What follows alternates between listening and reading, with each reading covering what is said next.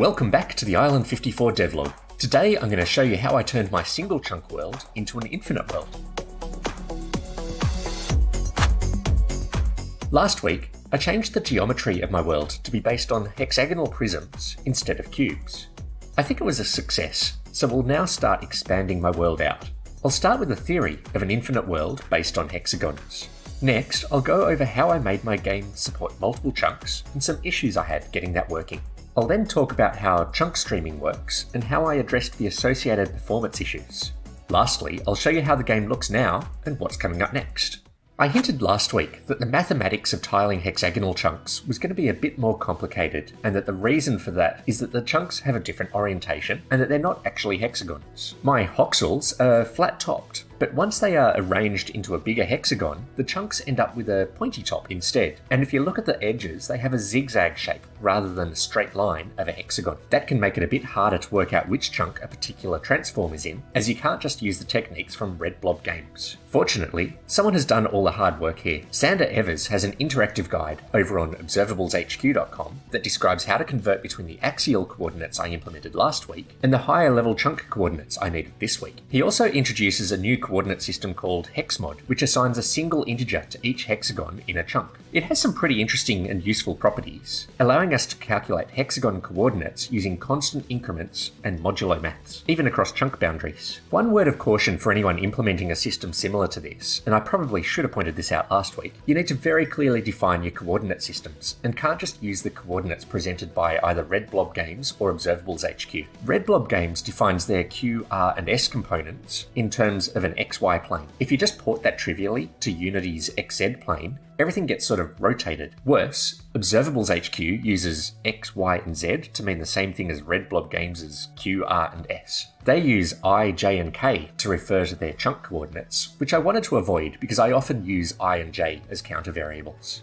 So I decided to use X, Y, and Z for my game engine coordinate system, Q, R, and S for my Hoxel coordinates, U, V, and W as my chunk coordinates. I use M to refer to the hexmod representation of a hoxel within a chunk, whenever that's needed. Trying to get my head around all these different coordinate systems made me think of the movie Beautiful Mind for some reason, but I got there in the end. I've mentioned the word infinite a few times so far, and you lot keep using the word too down in the comments below. I just want to get something out of the way here. No game I'm aware of allows an infinite world, and there are a couple of practical reasons for this. First, the game needs to store coordinates, and while there are data types for unbounded coordinates, they come with a performance hit. Secondly, the game ultimately needs to convert the world's coordinate system back to whatever the game engine's floating point type is, which can store less precision the bigger the value gets. This can be seen in Minecraft Bedrock Edition, which also uses floats for its 3D code. Once you get more than 100,000 blocks or so out, the game starts to lose precision in game breaking ways. Again, you can work around this by rebasing your coordinate system, but that again comes with a performance penalty. So, is my game going to be infinite? Technically, the chunking system caps out at about 10 to the power 16 square kilometres, given my current coordinate system parameters. For people that don't do metric, that's about 15 billion times the size of Texas, or 1 quadrillion football fields. Similar to Minecraft Bedrock though, my game will start to run into issues far before the player gets towards the edges of the map, since I convert all the coordinates to floats for rendering. So it would likely start running into weird precision errors once you got too far from the origin. Floating point numbers only have 23 bits of precision, so at some point the precision error will be greater than what's needed to represent movement deltas per frame. If I ever do want to make my game world more than a couple hundred kilometres, I'll likely need to rebase the coordinate system periodically, where the entire XZ coordinate system would be shifted periodically to keep the player's floating point coordinates close to zero.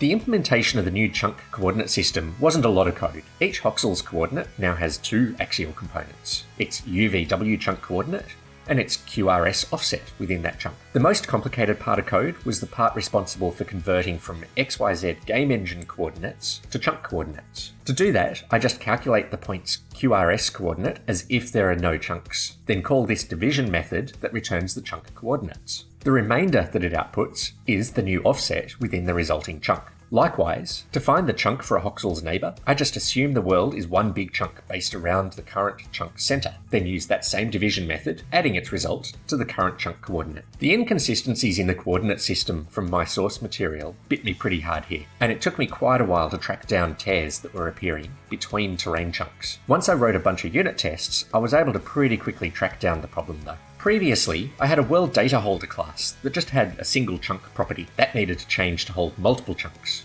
Any code that looked up voxels within a chunk needed to be updated to support the voxel being in a different chunk. I updated my terrain generator to use simplex noise instead of Perlin noise, mostly because Unity's built in noise generator has some serious limitations. You get repetition outside the input range 0 through 1, and mapping an effectively infinite world into that range was going to be troublesome. I just use each voxel's game engine X and Z coordinates and generate a couple of pieces of noise at different frequencies to get a look I'm happy with. I still needed to make changes to the scatter generator because the trees really didn't look right, but I decided to fix that later, and with that, my world had grown to seven chunks.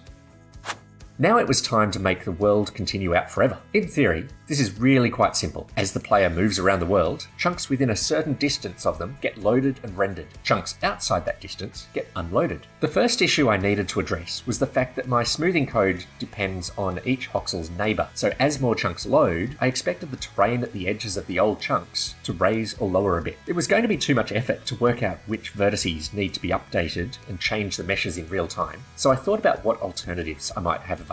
My first thought was that I could have each chunk include height data duplicated from the surrounding voxels without rendering them, allowing the correct heights to be calculated to begin with. This was going to be a pain once I supported any kind of persistence, and it was going to make my neighbouring voxel code more complicated, as there would now be two different concepts of neighbour for border voxels the actual neighbour in the neighbouring chunk, and the cache neighbour held in this chunk. So, what I ended up doing instead was loading and rendering chunks in two distinct phases. First, they got loaded and their terrain generated, then they later got rendered into a mesh. Under this system, I have two different distance thresholds a load radius, where chunks get loaded in, and a render radius, being one less than the load radius. This way, every voxel is guaranteed to have all of its neighbours loaded in when it's being rendered, so I can calculate the smooth heights correctly. When I tried it out, it took quite a while to run, and it lagged horribly as I crossed chunk boundaries. This was to be expected since I was doing all the terrain and mesh generation on my main thread, so I moved it off onto a background thread. My chunk stream system class is responsible for sequencing all the loading and mesh generation and making sure that not too much gets updated in any given frame. I initially consider the origin chunk and perform breadth first search to calculate which chunks should be unloaded, loaded, and rendered. It just goes ahead and removes unloaded chunks from the chunk index, as that's a pretty cheap operation. I don't bother unrendering any chunks until they get unloaded, since it would complicate the code further,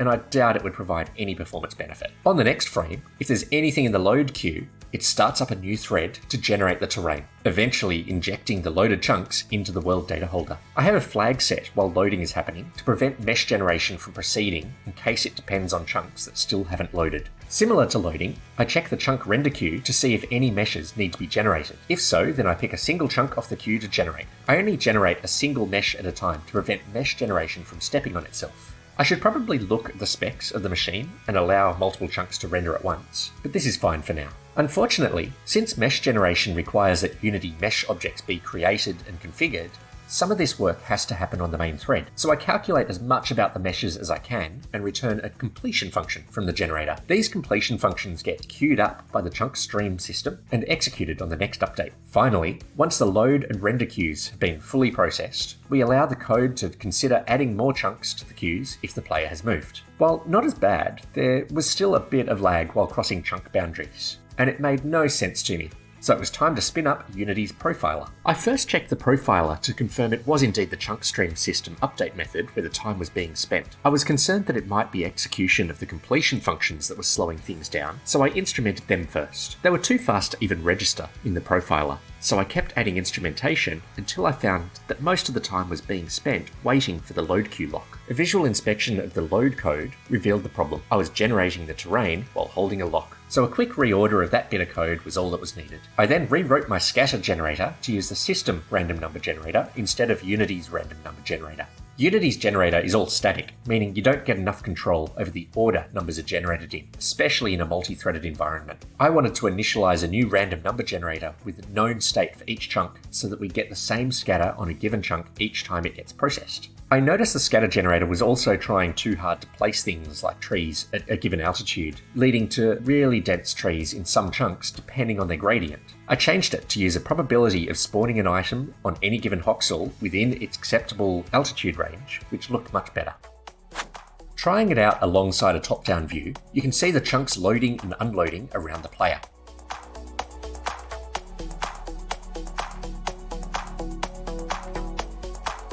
Noting this pattern of trees just here, if you move far enough away that they unload, then cause them to reload, you see they reload in the same pattern. The game still doesn't actually have any sort of persistence though. If we chop down a tree, unload its chunk, then reload it, the tree will get restored to its original state. But that's a problem for future me.